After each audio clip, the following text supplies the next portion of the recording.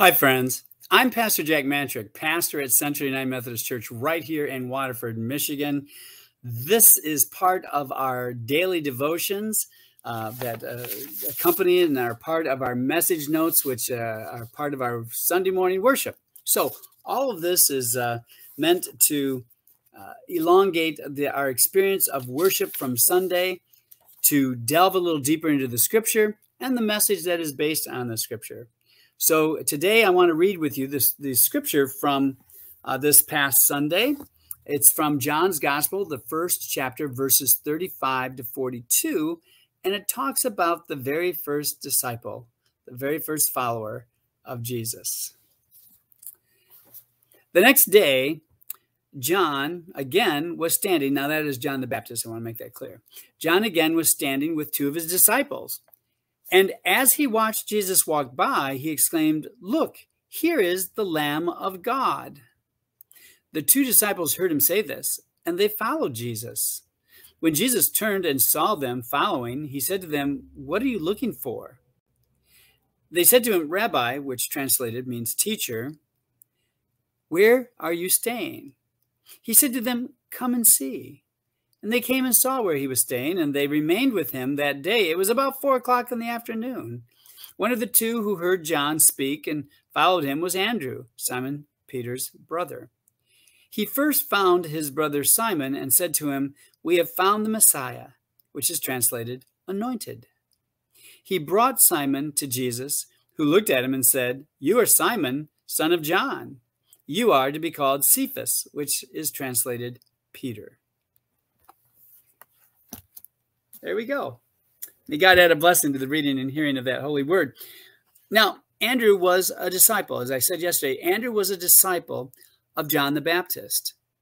But John the Baptist made it very clear that there was one coming after him whose sandals he was unworthy to carry. So, John uh, as he was speaking to a couple of his disciples, one of them, as we learn, is Andrew. We sometimes think the other one was probably John, brother of James, uh, and the other, another two of the 12 uh, disciples of Jesus. It, anyway, they followed Jesus. And Jesus turns around and he says, What are you looking for? and it's a great question that we should consider as we think about our faith and our lives. What are we looking for? What do you perceive as your greatest need? What changes would you like to see in your life? what changes in your life do you desire? How would you answer Jesus' questions, in other words? What are you looking for? Yesterday, I spoke about how John preached repentance, and repentance means to turn around, to turn your life around and head in a different direction. It means just to change direction. And so, those times in which we feel ourselves far away from God and heading in the wrong direction, repentance means to turn around and head back toward God, to, to seek God's wisdom, to seek God's peace, to seek God's justice, to discern what it is that we should be doing in order to live a life that is aligned with God's purposes on earth as it is in heaven. To align our lives with God, to be a follower of Jesus the Christ, is an important part of our faith journey. To constantly check ourselves as to where we are going. So, so when I think of um, this question of Jesus, he's he's deeply challenging uh, them, saying, What are you looking for? You know, in Jesus' day, there were rabbis and, uh, you know, people who would go out into the world and preach, and uh, uh they would have follower, followings, they would have disciples who would follow them. And often you wanted to know uh, what what you, what your rabbi stood for, but that goes that's a two way street. You know, what are you looking for? Part of discernment is to quiet yourself, your soul, and to wait for the Lord to speak to you, to wait for a moment of clarity, to pray and then listen for God's direction in your life, for opportunities that come to you, sometimes from other people.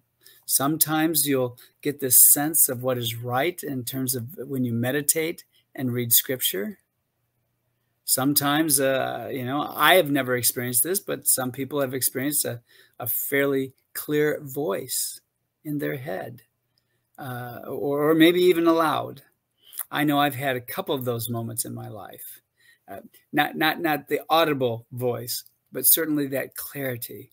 A couple times. Once was one of them was when I was called to ministry and just said I I was having a great time, freshman in college, uh, good GPA from high school, looked like things were the, on the upswing, and I was miserable. I needed uh, to make a change in my life.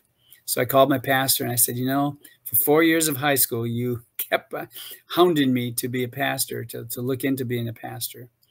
And uh, anyway, that uh, was a, a great reckon, reckoning in my mind when I recognized that I really was called to ministry by God and through my pastor and through others who affirmed me throughout the many years of my ministry. So, what are you looking for? That's the question that Jesus posed to the disciples, to Andrew and the other disciple. And as you know, they both became uh, uh, disciples of Jesus. And so it's a good question for us to consider today. What are you looking for? Yesterday I asked you, is the timing right? Is, is your life uh, in, seems to be in need of change? Is, is, is, is your situation ripe for that change to happen? Do you have clarity today? The question is, do you have clarity on what you're looking for? I want you to think about that. Maybe jot some thoughts down. What would you want your life to look like in terms of uh, the changes? What are you looking for as you seek to follow Christ? as you seek to do the will of our, our loving Father and Creator. Let's pray. Gracious God, we do thank you uh, that you created us with brains and with uh, talents and with abilities to be your people and to do your will. And we trust and know that you will equip us for that ministry, to whatever call you have placed upon our hearts and our lives. Gracious God, we ask for that clarity. We ask for that simple truth to be evident in each of our lives. And we ask it in the name of Christ our Lord. Amen.